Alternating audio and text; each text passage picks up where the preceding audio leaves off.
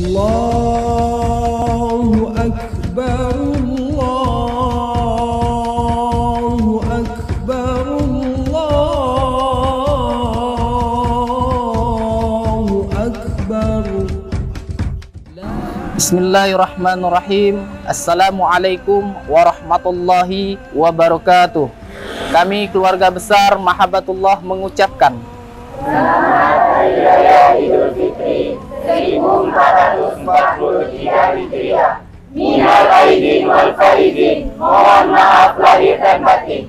Semoga di hari kemenangan kita menjadi sebaik-baiknya umat dengan memperoleh kasih dan rahmat Allah Subhanahu wa taala. Amin ya rabbal alamin. Wassalamualaikum warahmatullahi wabarakatuh.